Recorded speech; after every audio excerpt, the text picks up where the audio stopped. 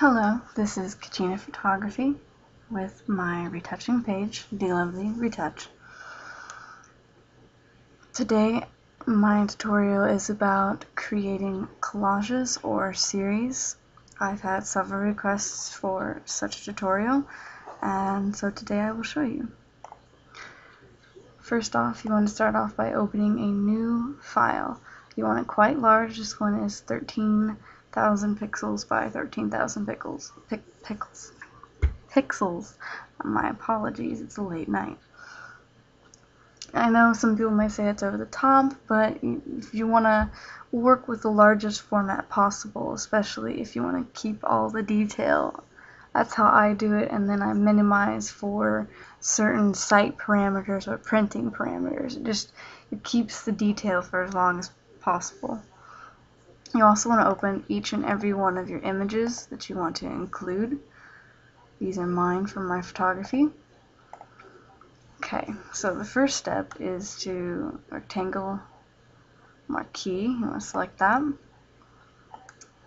Select your image, go to edit copy, go to your new image, edit paste. Now you're going to repeat this with each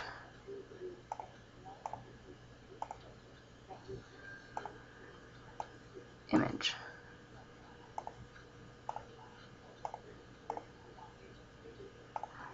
And that is pretty much it.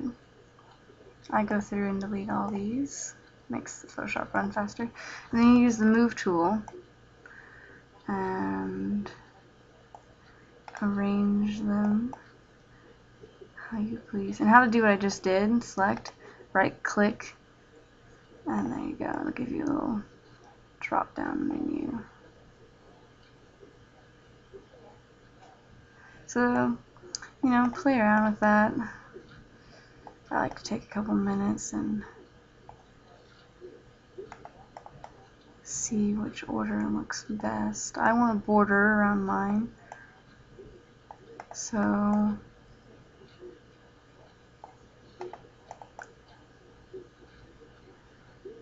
looks as though this one right here is a bit tinier, so I think to balance it out I'm gonna put it in the middle.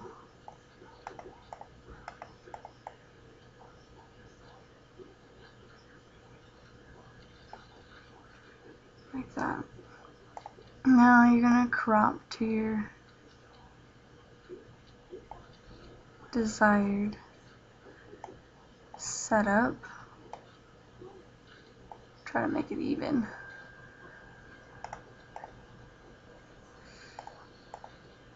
That's pretty big, so gonna drop that down. Um, a lot of people ask me how I uh, to color the background and make it look nice. I usually go for an all white, but sometimes, you know, it's not what you want. So, um, let's go with like a, like a gray here.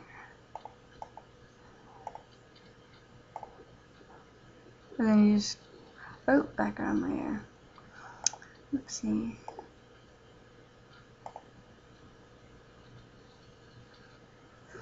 Oh, I see what I'm doing here. Hang on I having a brain fart. There you go. Background layer. Make sure that's selected so you don't do what I just did.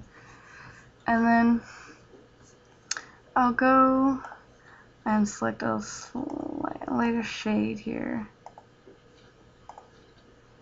Go to paintbrush. Sure it's a large large brush. 16% seems good. And then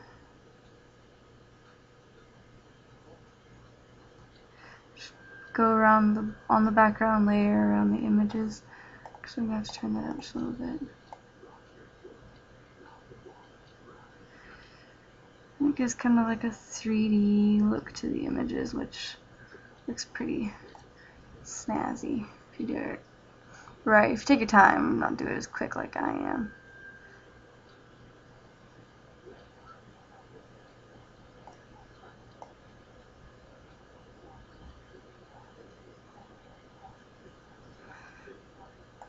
then I go through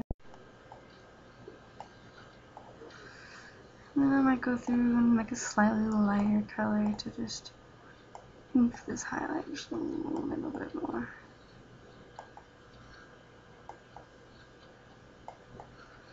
There you go.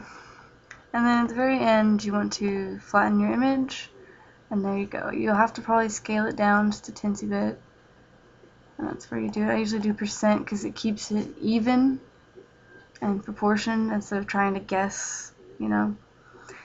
And that's pretty much it. That's how you make collages. It's pretty simple once you can figure it out. I'd also like to take the time to thank Emelia Hartford, the beautiful model in these photos. So,